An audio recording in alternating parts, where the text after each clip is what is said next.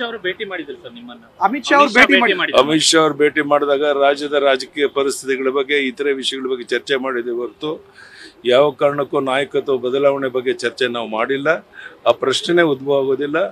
ಈಗಿರೋ ಮುಖ್ಯಮಂತ್ರಿಗಳೇ ಇನ್ನು ಎಂಟು ತಿಂಗಳು ಪೂರ್ಣ ಅವಧಿ ಮುಂದುವರಿತಾರೆ ಅನ್ನೋ ವಿಶ್ವಾಸ ನೂರಕ್ಕೂ ನನಗಿದೆ. ಇದರಲ್ಲಿ ಏನು ಅವಕಾಶ ಕೊಡ್ತಾ ಇಲ್ಲ. ಸಿಎಂ ಭೇಟಿ ಸಂದರ್ಭದಲ್ಲಿ ಹೈಕಮಾಂಡ್ ಭೇಟಿಗೆ ಅವಕಾಶ ಕೊಟ್ಟಿಲ್ಲ. ಒಂದಷ್ಟು ಬೆಳವಣಿಗೆ ನಡೀತಾ ಇರೋದು ಇದರಲ್ಲೇನು ಸತ್ಯಾಂಶ ಇಲ್ಲ. ಆದಷ್ಟು ಬೇಗ ಕ್ಯಾಬಿನೆಟ್ ಎಕ್ಸ್ಪ್ಯಾನ್ಷನ್ ಉಳಿದಂಥ ಸಂಗತಿಗಳ ಬಗ್ಗೆನೂ ಸಹ ಮುಖ್ಯಮಂತ್ರಿಗಳು ಗಮನ ಕೊಡ್ತಾರೆ. ಕೇಂದ್ರದ ನಾಯಕರು ಸಹ ಅದಕ್ಕೆ ಸಹಮತವನ್ನು ವ್ಯಕ್ತಪಡಿಸ್ತಾರೆ ಅನ್ನೋ ವಿಶ್ವಾಸ ನನಗಿದೆ. ನ್ಯೂಸ್ ಫಸ್ಟ್ ಪ್ರತಿಕ್ಷಣ